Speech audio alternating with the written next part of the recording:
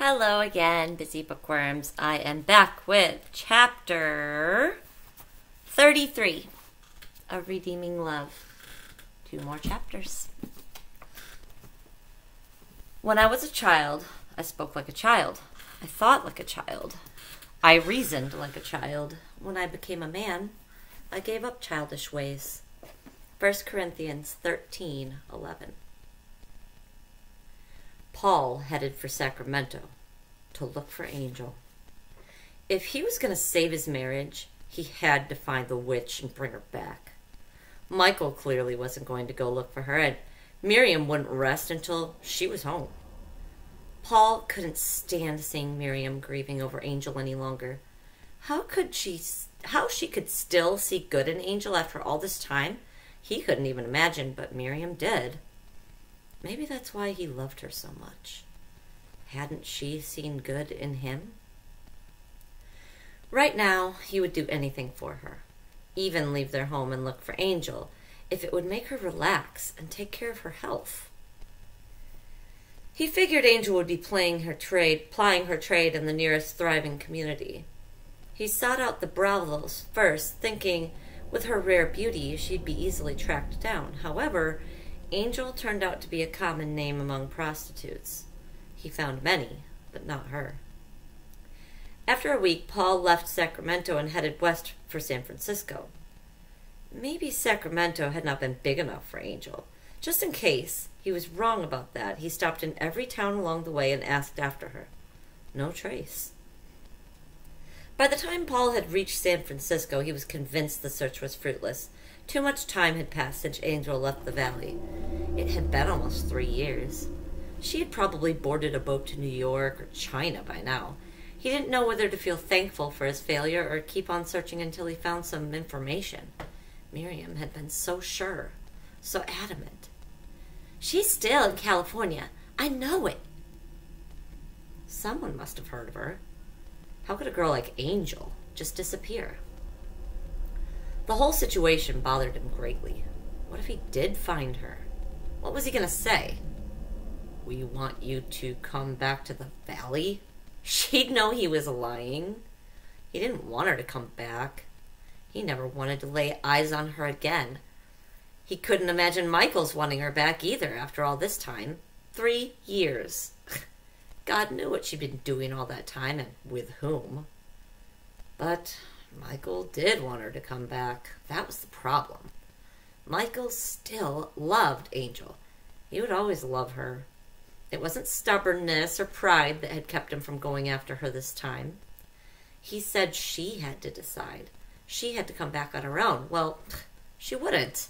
A year should have told Michael that much. Surely two would have done the trick. When another year passed, even Miriam had given up hope that Angel would come back on her own. She said someone would have to find her. I want you to go, Paul, Miriam had said. It has to be you. Listening, he hated Angel more than ever.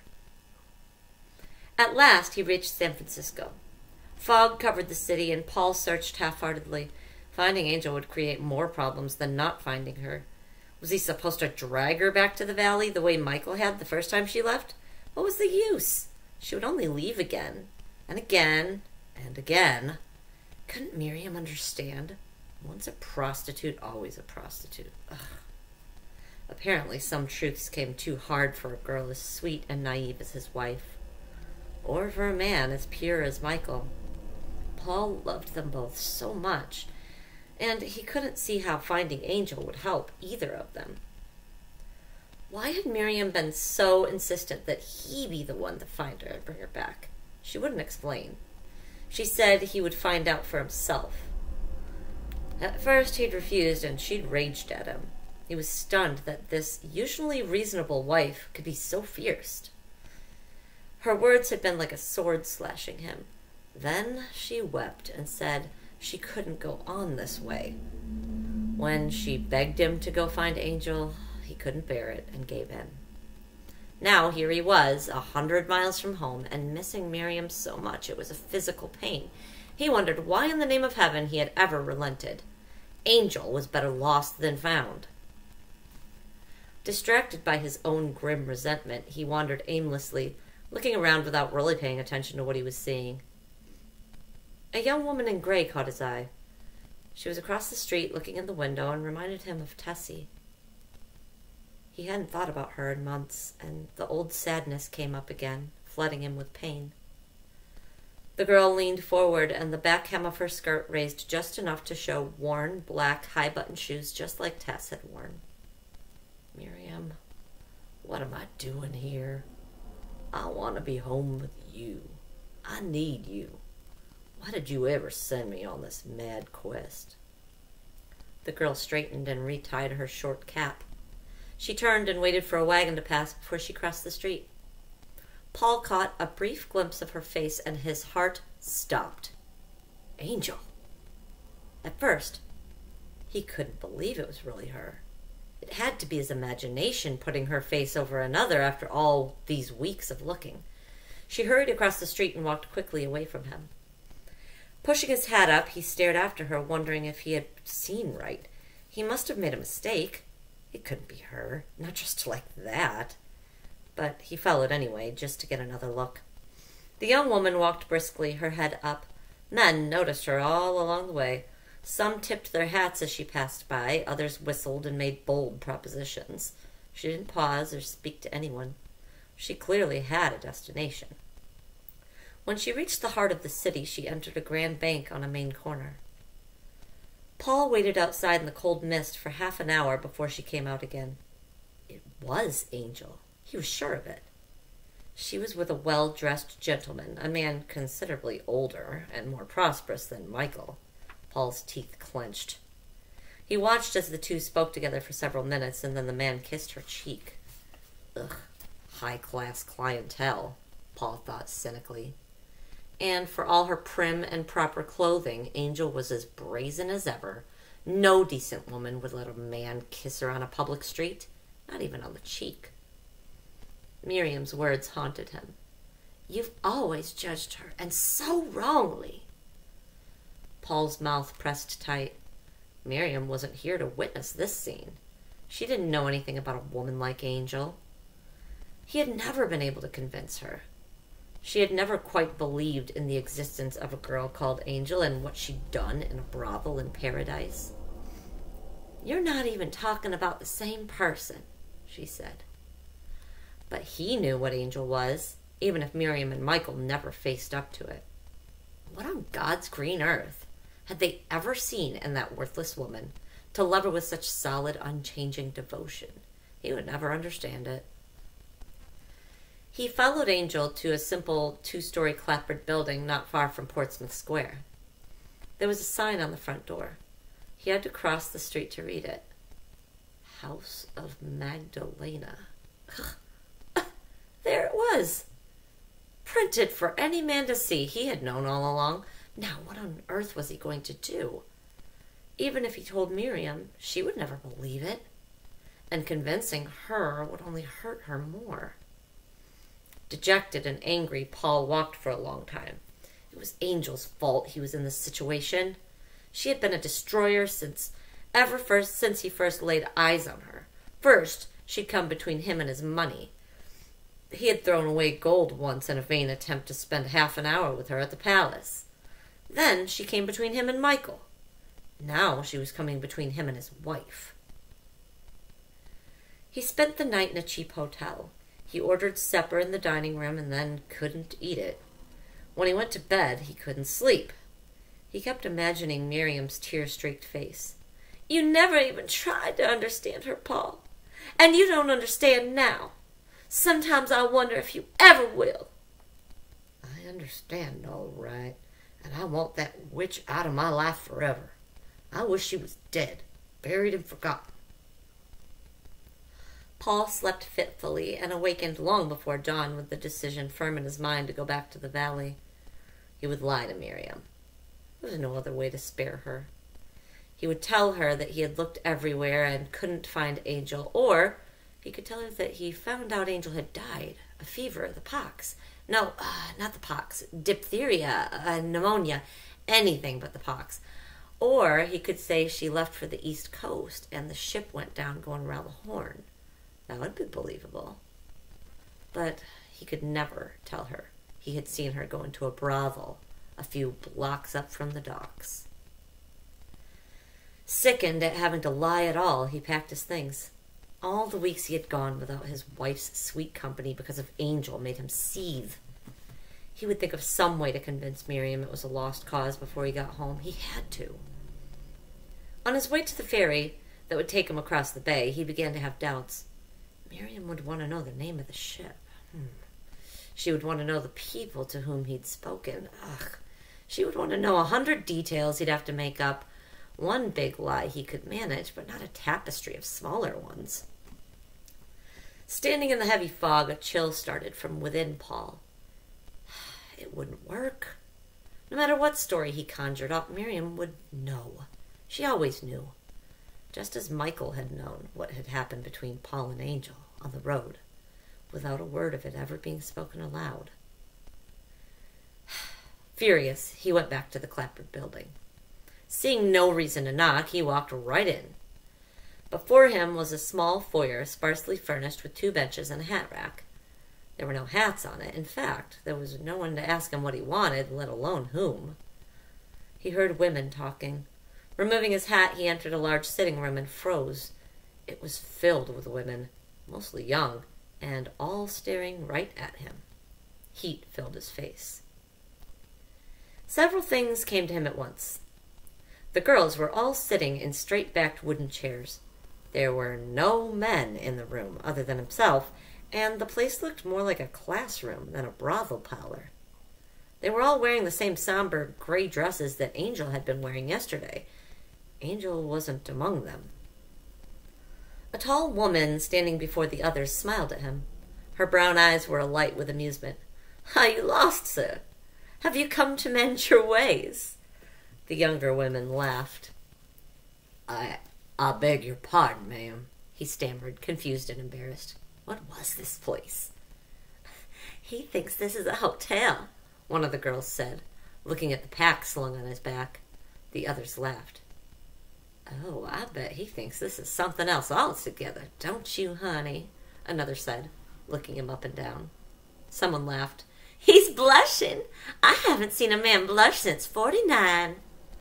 Ladies, please, the tall woman said, quieting them. She put down the piece of chalk. She brushed the white dust from her slender fingers and walked toward him. I'm Susanna. She held out her hand, and he took it without thinking. Her fingers were cool, her grip firm. How may I help you? I'm looking for someone. Angel. Her name's Angel. At least, she used to go by that name. I I thought I saw her come in here yesterday afternoon. Paul? He turned sharply and saw her, standing in the doorway. She looked surprised and dismayed. Come with me, please, she said. He followed her down a hall and into a small office. She took a seat behind a big oak desk. Papers were strewn over it, as were several books. On one corner was a plain brown hat box with a slot in it. Please, sit down, she said. He sat and looked around at the simple, pristine setting. He couldn't make any sense of it. Why would a madam have an office more suited to a nun? What sort of classes were being conducted in the other room? Arithmetic problems had been written on the board, but now that he faced Angel again, he didn't think to ask. The old animosity was back in full force. If it weren't for her, he would be home with Miriam. Angel was looking at him with her same directness, but she was different somehow. He looked back at her coldly, trying to figure out what it was. She was still beautiful, so incredibly beautiful, but she had always been that beautiful, cold, and hard as stone. He frowned. That was it. The hardness. It was gone. Now there was a softness about her it was in her blue eyes, her faint smile, her quiet manner. She's serene. The thought stunned him and he shook it away. No, not serene. She just doesn't feel anything at all. She never did. He remembered the day on the road. He couldn't exercise it. He wanted to say something and couldn't think of a word. He was angry, resentful, depressed, but he kept reminding himself he wasn't here for himself. He was here for Miriam. The sooner he got things said, the sooner Angel could refuse to return and he could leave in good conscience. Angel spoke first. You're looking well, Paul. He had the oddest feeling she was trying to put him at ease. Why would she want to do that? Yes, so are you, he said, sounding stiffly polite. It was true.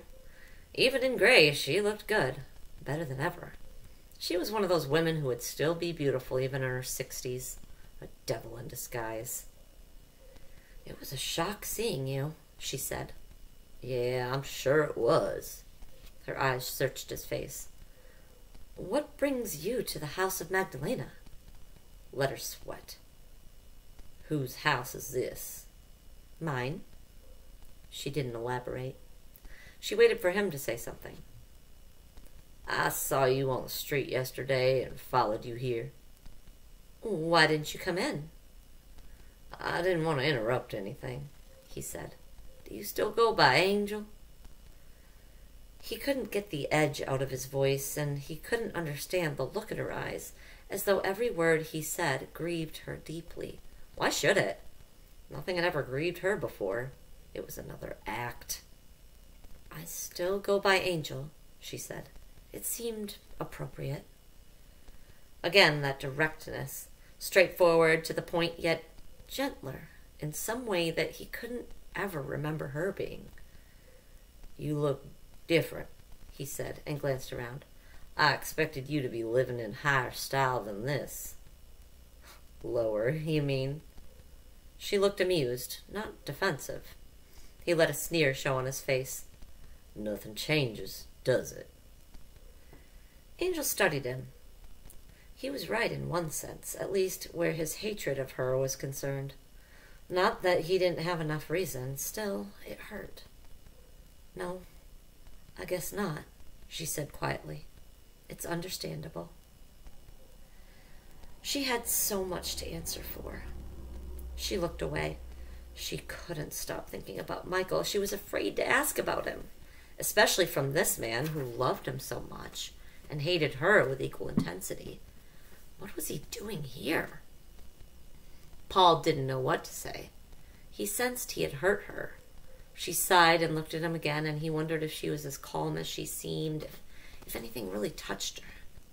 It was one of the things he had despised about her. No arrow he shot had ever drawn blood. Do you ever go back to the valley? she asked. The question caught him off guard. I'll live there. Oh, she said, surprised. I never left. She didn't rise at the accusatory tone. Miriam told me you were planning to go back to the goldfields and try your luck again. Out of desperation, he said. Miriam talked me out of it. Angel's face softened. Yes, I suppose she would. Miriam was always saving a soul. How is she? She's gonna have a baby this summer. He watched the color ebb from Angel's face and then come back slowly. Thank God. Thank God. She smiled, but it was sad and wistful. He had never seen her smile like that before. He wished he knew what she was thinking. That's wonderful news, Paul. Michael must be very happy. Michael? He gave a soft laugh, confused. Well, I suppose he is. He felt driven to say, He's been doing real well for himself the last few years. He bought some more land and a small herd of cattle last spring. He put up a bigger barn this fall. She didn't have to know she had taken half his heart with her when she left. Michael still had faith in God, and God would find him a good wife. He didn't expect Angel to smile at his news, but she did. She didn't look the least bit surprised. She looked relieved and happy. Michael will always do well. The heartless witch? Was that all she could say? Didn't she know how much Michael loved her and how much it had ripped him up when she left? And you, Paul? Have you worked things out with him again? He hated her for the reminder of what had happened. He hated her so much, he had the taste of steel in his mouth. As soon as you left, things went back to the way they were, he said, knowing it was a lie. Michael had never held a grudge. He was the one who couldn't let it go. Nothing was the same. She was still a wall between them. I'm glad, she said, and looked it. He's always loved you, you know. He never stopped. She saw his expression and changed the subject. You can help him build an addition on the cabin. He'll need one now. An addition? What for? With the baby coming, she said, he and Miriam will eventually need more room, and there will be more children in time. Michael always told me he wanted lots of children. Now he can have them. Paul couldn't breathe. He felt cold and sick. Angel frowned. What's wrong?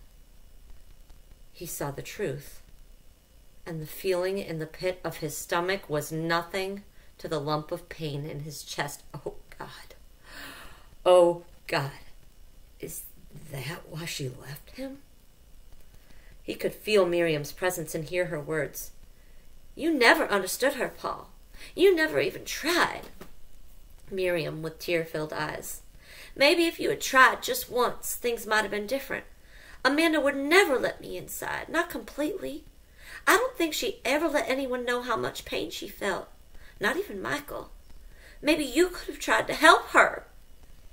Miriam standing firm before his scorn. I never knew Angel. I only knew Amanda, and if it weren't for her, I never would have had the courage to come to you. Miriam, on the day she had come to his cabin. I have to do what is best for you. Angel was searching his face. What's the matter, Paul? What is it? There's nothing wrong with Miriam, is there? Miriam is my wife, not Michael's. She drew back, stunned. Yours? Yes, mine. I, I don't understand, she said shakily. How could she be your wife? He couldn't answer. He knew what she meant. How many times had he thought he was not good enough for her? She was just right for Michael. He had kept thinking that. All the while, he had fallen in love with her himself. He had been convinced right up to the day she had come to him in his cabin. Angel, Michael's still waiting for you to come home. Her face went deathly white. It's been over three years. He can't still be waiting. He is. Paul's words struck her squarely in the chest. Oh, God. She shut her eyes for a moment. She stood and turned away. She pushed the lace curtain back to stare out the window. It was raining. She couldn't breathe past the pain in her chest. Her eyes were on fire. Paul saw the way her hand clutched the curtain until her knuckles were white. I think I understand, he said bleakly. You figured if you went away, he'd turn to Miriam. Eventually, he'd fall in love with her and forget about you. Isn't that it? Ugh, hadn't he expected that to happen as well? Hadn't the possibility torn at his guts? He would have. She didn't even have to say it if you hadn't interfered. Once, Paul had said to Miriam that he didn't think Angel had the capacity for pain or love. Those words came back to taunt him now. How could he have been so wrong about her? When she turned to look at him, he was ashamed. Miriam is perfect for him, Angel said. She's the sort of wife he needs. She's pure and intelligent and tender. She has a tremendous capacity for love. He heard so much more than words this time. That's all very true, but Michael loves you. He wants children. And Miriam could have given them to him. And they understand each other. Because they're friends. Her eyes flashed. They could have been more. Maybe, he conceded, facing his own selfishness. If I'd had the courage you did, and if I'd left, but I didn't. I couldn't. Until this moment, he'd thought it was because he loved Miriam too much, but he saw clearly now that he had loved himself more. Angel had understood a higher quality of love sacrifice. Leaning forward, he put his head in his hands. Now he knew why Miriam had been so insistent that he be the one to find her. I was so wrong, he groaned. I was wrong about you the whole time. His vision blurred. He looked up again. I've hated you. Hated you so much. I. He broke off, unable to say any more. Angel sat down behind the desk again, saddened. You were right about me in a lot of ways. Her words only confirmed what he knew now. He gave a bleak laugh. I never even came close. And I know why. That day on the road, I knew you were right. You were right. I betrayed him. Her eyes filled. I could have said no. Did you know that then? She didn't speak for a moment. Some part of me must have known. Maybe I just didn't want to. Maybe it was my way to draw your blood. I don't know anymore. It was so long ago. I never wanted to think about it again, and then every time I saw you, there it was. I couldn't get away from it. She remembered the darkness in which she had lived. She remembered all those months that Paul had stayed away and how his absence had hurt Michael. She could imagine Paul's pain at the separation as well, and his shame, and the horrible guilt of it all. Hadn't she kept company with her own? It was on her head. She had allowed it to happen. For whatever reason. What did it matter now? She couldn't cast blame on anyone other than herself. Choice had been hers. She had never even thought of consequences. The repercussions had been like a stone flung into smooth water. The splash, then the widening circles. It was a long time before the water was smooth again, and the stone was always there, lying cold and hard in the silent pool. Michael, Paul, herself ruptured souls desperate to be put together again.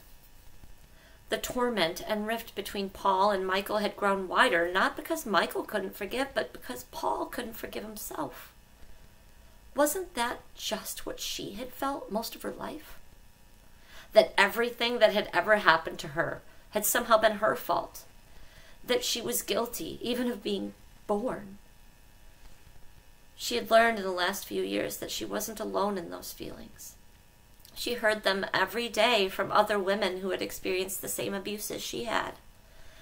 Forgiving others for what they had done to her had come far easier than forgiving herself.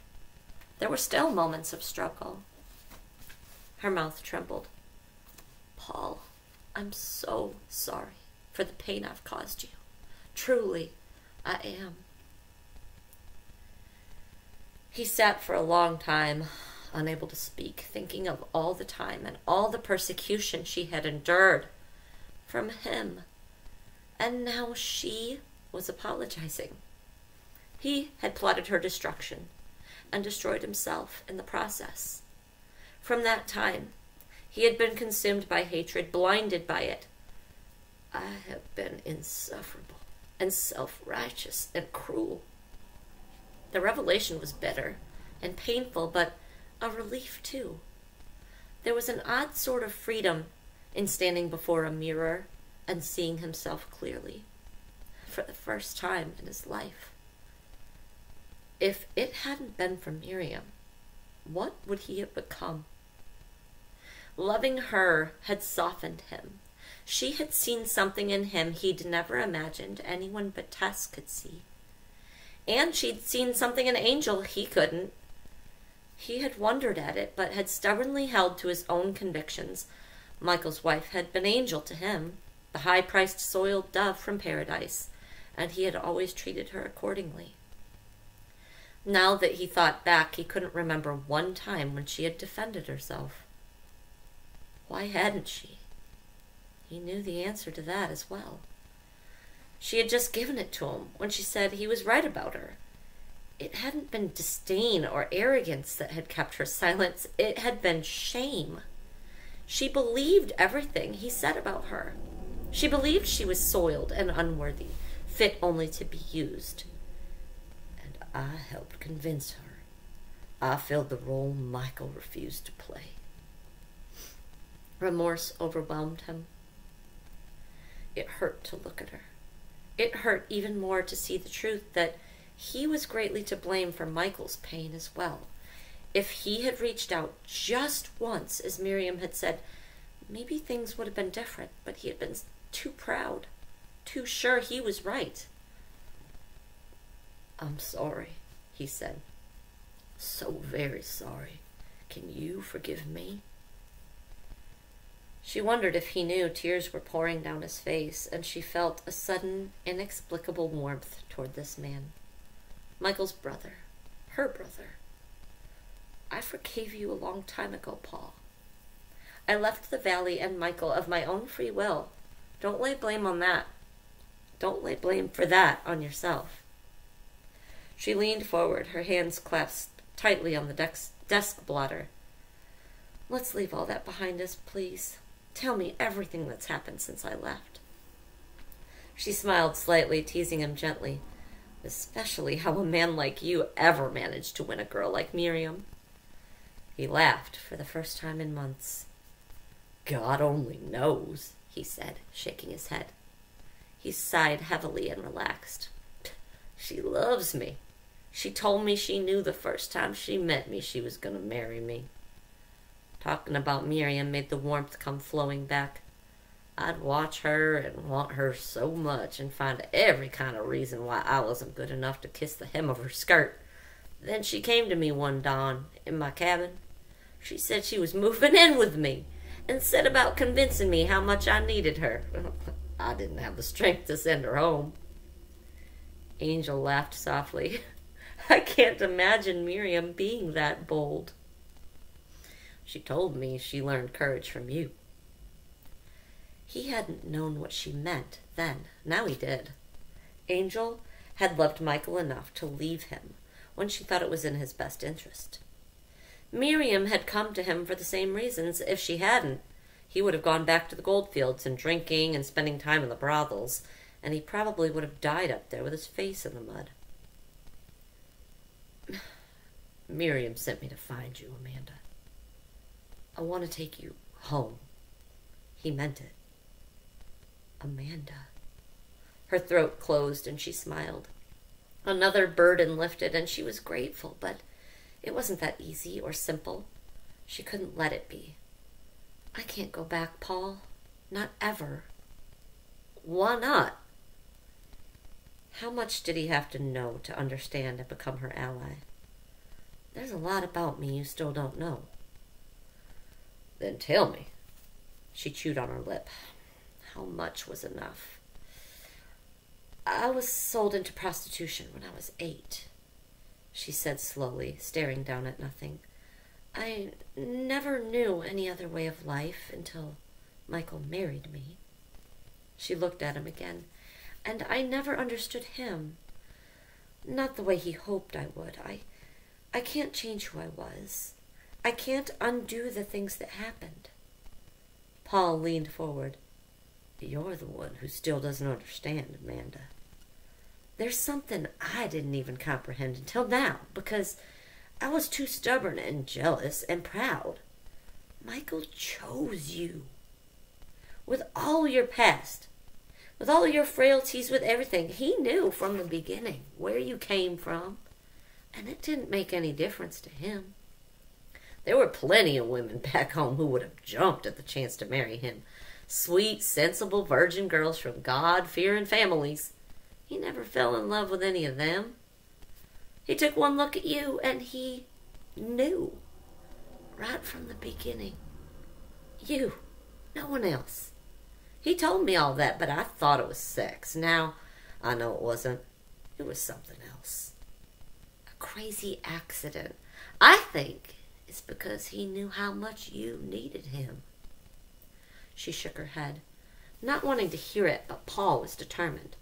Amanda, he bought you out of bondage with his own sweat and blood, and you know it. Don't tell me now you can't go back to him. It hurt too much because she still loved and needed him. Sometimes she thought she would die without the sound of Michael's voice. She would close her eyes and see his face and how he walked and how he had smiled at her. He had taught her how to play and sing and rejoice, things she had never known. And the sweetness of those memories was agonizing, the separation unbearable. Sometimes she tried not to think about him at all because the pain was so great, but the hunger for him was always there. The endless, aching hunger. Only he had opened himself to be used in her life by Christ. Through him, Christ had been able to fill her until she was overflowing. Michael had always said it was God, and now she knew that it was true. And her knowledge that he'd been the bridge between her and her Savior only made her long for Michael all the more. She couldn't allow herself to think of all that. She had to think of what was good for him, not what she wanted for herself. She had purpose now and sat- satisfaction in her life. She wasn't plagued by nightmares and self doubt, at least not till now. And she had to tell Paul the complete truth so he would understand. I can't have his children, Paul. Never. Something was done to me when I was very young to make sure. She had to stop and look away briefly before she could go on. Michael wants to have children. You know that. It's his dream. She faced him again. Can you understand now why I can't go back? I know you would take me back again. I know I would still be his wife, but it wouldn't be fair, would it? Not for a man like him. She struggled to control the tears that were so often near the surface lately. She would not give in. She couldn't. If she did, she would cry until she melted away to nothing. Paul didn't know what to say. Please, she said, when you go back, don't tell Miriam you saw me. Say anything. Say I left the country. Say I died. He cringed inwardly, hearing his own thoughts come back to haunt him. Please, Paul, if you tell her, she'll only tell Michael, and he'd feel he has to come get me again. Don't let him find out where I am. You needn't fear that. He told Miriam he wouldn't drag you back this time. He said it was your decision, that you had to come back on your own, or you'd never really understand that you were free. He wanted more than anything now to convince her she had to come home again. Did you ever tell him you couldn't have children? Yes, she said quietly. What did he say? She shook her head, dismissing it. You know Michael. Indeed, he did. He stood up and put his hands on the desk. He married you, Amanda, for better or worse. And for as long as you're both alive, and that's how long he'll wait for you, and past that, if I know Michael. If you only knew how much he's hurting. Don't. You know him. Did he ever give up on you before? He won't give up waiting for you now. He'll never give up. She shook her head, pale and distraught. I can't go back. Paul straightened. He didn't know whether he had given her something to think about or just caused her more pain. I've said all I can. It's up to you, Amanda. Just don't take too long making up your mind. I miss my wife. He wrote down the name and address of the hotel where he stayed the night before. I'd like to leave by nine tomorrow. Send word what you decide. He picked up his pack and shouldered it. What is this place, anyhow? A boarding house? She looked up at him, pulled back from her dilemma. In a way, it's a home for fallen women, women like me, who want to change their lives. We've been very fortunate. Several wealthy citizens gave us financial help. The man at the bank, Paul thought. God forgive me. What a fool I've been. You started it, didn't you? Not all by myself. I've had a lot of help along the way. What do you what do you teach them in there? He nodded toward the big room through the door and down the hall. Reading, uh, writing and ciphering, cooking, sewing, how to run a small business. As soon as they're ready, we find positions for them. We've developed a way to accomplish that with the help of several churches. Father Patrick had seen had been to see her often. Some Catholic priests were a lot like Michael, devoted to God, humble, patient, and loving. She hesitated. Magdalena is one of the things I needed to think about. I need to think about, Paul. They need me here. No matter how good a cause, it's just an excuse now.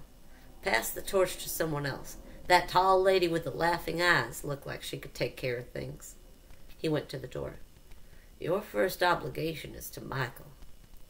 He had said all he could. I'll wait until noon tomorrow at the latest. Then I'm going home.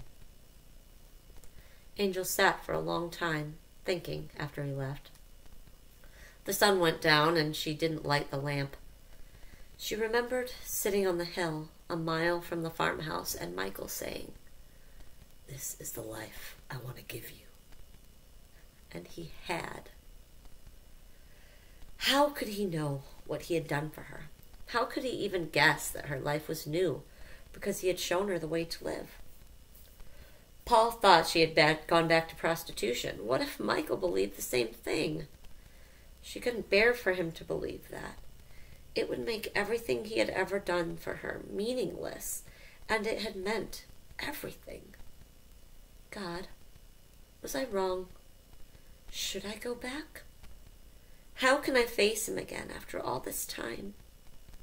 How can I see him and walk away again? What do you want me to do?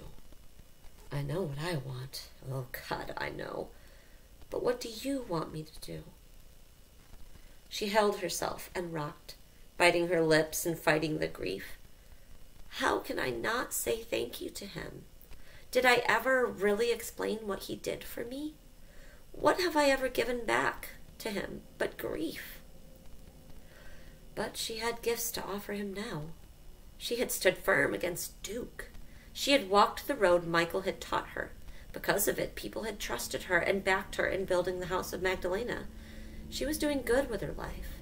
And it was all because of him, because of what she had seen in him. Seek and ye shall find, he'd read to her, and she had. Maybe if she found a way to tell him, it would give him peace. Sarah, beloved, God, I won't ask for more than that. She closed her eyes tightly. I won't ask for you. I won't ask you for more. Classes were long over when she left the office. The girls had finished supper and retired to their rooms. Angel went up the stairs. She saw a light beneath Susanna's door and tapped. Come in. Angel entered. What's happened? Susanna asked, getting up from the bed and coming to her. She took her hands. You look so pale. We missed you at dinner. Who was that man? A friend. Susanna, I want you to run Magdalena for me. Me? she said, astounded. She looked less assured than Angel ever remembered. She let go of her hands and stepped back. You can't mean it. I couldn't.